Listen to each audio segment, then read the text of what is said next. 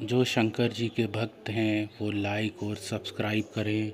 और अपनी अनुभूति कमेंट में ज़रूर शेयर करें